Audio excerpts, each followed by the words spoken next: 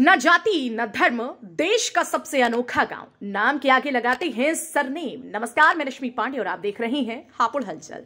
एक खास और दिलचस्प खबर को लेकर मैं हाजिर हूँ। आइए देखते हैं क्या है वो खास खबर, लेकिन उससे पहले अगर आपने अभी तक ये चैनल सब्सक्राइब नहीं किया तो तुरंत कर लीजिए और बेल आइकन प्रेस करना न भूलें। राजस्थान का एक ऐसा गाँव चर्चा में है, जहाँ के लोग शायद धर्म और जाति से आगे बढ़ गए हैं। वैसे तो इस गाँव की कई खास बातें हैं। लेकिन इसकी एक जो सबसे खास बात है, वो यह है कि यहाँ के लोग अपने नाम के आगे एक ही सरनेम लगाते हैं। यहाँ पूर्व में हिंदू, मुस्लिम धर्म से संबंध रखने वाले लोग भी अपने नाम के आगे एक ही सरनेम लगाते हैं और उनके आधिकारिक दस्तावेजों में भी सेम स्थिति है। दरअसल ये गाँव का नाम इनाड़ा है। और ये राजस्थान के नागौर ज़िले में मौजूद है। मीडिया रिपोर्ट्स के मुताबिक इनाड़ा में रहने वाले सभी जाति और धर्म के लोग, चाहे वो हिंदू हो, चाहे मुस्लिम हो, इनमें कुम्हार, मेघवाल, सेन, जाट और राजपूत समाज के लोग भी शामिल है। ये सभी अपने नाम के पीछे सरनेम इनाड़िया लगाते हैं। जानकारी के मुताबिक बताया जाता है कि तेरह में शोभराज नामक शख्स के बेटे इंदर सिंह ने गाँव बसाया। उस समय यहाँ बारह खेड़ों में बारह जातियाँ थी और सबको मिलाकर इनाड़ा बनाया। दिलचस्प बात यह है कि ये नाम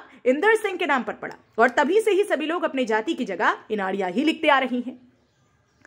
इस गाँव की अगर जनसंख्या की बात करें तो यहाँ कुल चार हज़ार चार सौ वोटर हैं और यहाँ की कुल आबादी दस हज़ार के करीब है। इन सभी के आधिकारिक दस्तावेजों में इनके नाम के आगे इनानिया सरनेम ही लगाया जाता है। इनके अलावा इस गाँव में और भी कई विशेषताएँ हैं। बताया जाता है कि इस गाँव में कभी विवाद नहीं होता है। और शराब भी कोई नहीं पीता है। शराब पीने पर ग्यारह हज़ार रुपये जुर्माना है। ना गुटखा मिलता है और ना ही अन्य धूम्रपान की चीज़ें मिलती हैं। यहाँ डीजे नहीं बजाया जाता है। इसके अलावा यहाँ होली पर रंग और दीपावली पर पटाखे भी शगुन के तौर पर ही बजाए जाते हैं।